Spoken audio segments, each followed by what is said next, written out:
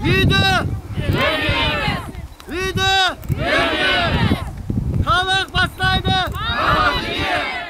Жители жилого комплекса Махабад проводят близ Астаны учения по гражданской обороне жилья. Люди, которым грозят выселение, учатся оказывать ненасильственное сопротивление судоисполнителям и полицейским. Вы готовы на, на всякие крайние меры. Также мы готовы, чтобы общество узнало, что творится в Астане.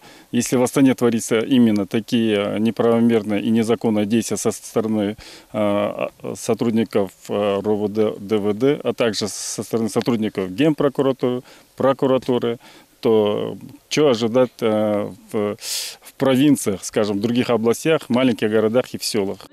В одинаковых футболках с надписями «Народ начинает и выигрывает», скандируя «Без дома нет родины», махабатовцы имитировали вероятную ситуацию, как будто их уже пришли выселять. Сначала провели учебно-тренировочные шествия, затем митинг. Халық бастайды! Үйді! По словам жильцов, в 2009 году некая ТО агрофирма «Казэкспорт Астык» заключила с ними договоры аренды с последующим выкупом квартир. В течение трех лет сотни семей оплачивали комуслуги, аренду, сделали в квартирах ремонт. В этом году выяснилось, что прежний хозяин продал дом вместе с жильцами. Новый владелец требует освободить помещение. Махабатовцы говорят, что стали жертвами мошенников. Госорганы, суды и полиция с этим не согласны мына бәріміз құртып өйткені Они хотят избавиться от нас, потому что мошенники заработали и убежали. Жанар Суббекова одна воспитывает пятерых малолетних детей. Ее тоже собираются выселять из Махабата. Муж за время судебных тяжб умер от инфаркта. Женщина в полном смятении. Просит помочь ей сохранить крышу над головой.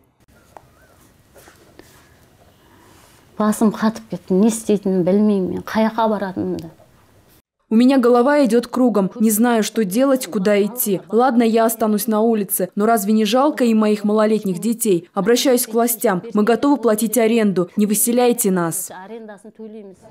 Обитатели жилого комплекса не раз обращались к властям. На этих кадрах полсотни семей пришли просить помощи у депутата парламента Бекенова. Народный избранник обращение принял, обещал помочь, но это тоже больше похоже на имитацию. Я вас услышал, я вас понял. Но чтобы конкретно, чтобы конкретно вашим э, заниматься вашим проблемам, нужно все подробно, чтобы вы расписали все это заявление и что вы конкретно хотите. Не хватайте руками судебных исполнителей.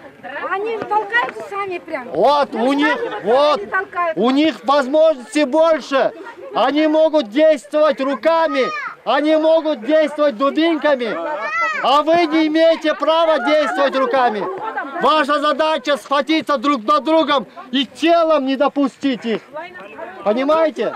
Так и не дождавшись помощи от чиновников, люди обратились к гражданским активистам. На эти учения правозащитника Булатпека Блялова пригласили в качестве специалиста по массовым движениям. что эта проблема касается не только вот тех людей, которые стоят за моей спиной.